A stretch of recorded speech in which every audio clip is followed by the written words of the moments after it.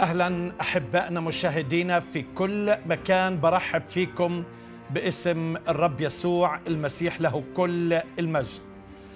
موضوعنا في هذه الحلقة عن العهد الجديد وعلم النقوش.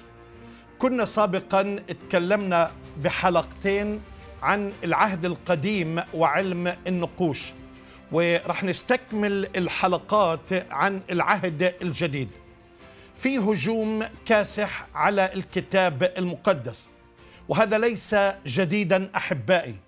من ابتداء المسيحيه حتى من أيام اليهود والرومان في القرن الأول حتى يومنا هذا تواجه المسيحية والكتاب المقدس هجوم شرس بكل أنواعه وبكل يعني بكل الطرق وبكل الوسائل لتحطيم المسيحية. ولكن ما زال الكتاب المقدس صامد وثابت لأنه كتاب الله موحى به من الله.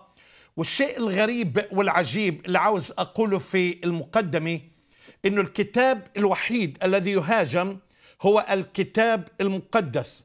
وإحنا تعودنا يعني سواء في القرن الماضي أو قبل القرن الماضي هجومات وأنواع نقد كثير حول الكتاب المقدس. رح نتناول في هذه الحلقة ولكن لاحظ إنه لا يوجد أي كتاب آخر يهاجم مثل الكتاب المقدس ولا حتى النظريات في سفر التكوين أو كلمة الله في الخليقة أو في النبوات أو في العهد الجديد.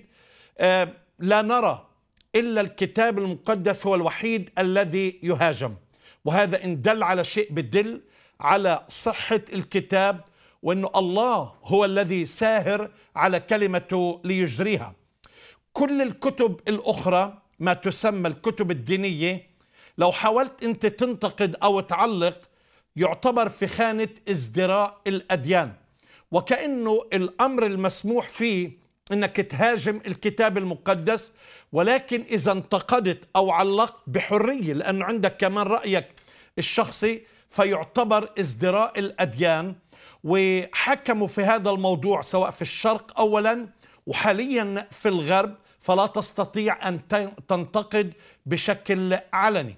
ولكن أحبائي نشكر الله إن الكتاب المقدس موجود مفتوح لأي شخص يريد أن يتساءل. في هذه الحلقة رح نتناول العهد الجديد وعلم النقوش ورح نتكلم عن الإثباتات حتى الأدلة من خارج الكتاب المقدس التي تثبت صحة الكتاب المقدس. ابقوا معي سأعود بعد هذا الفاصل لتقديم ضيفي المبارك.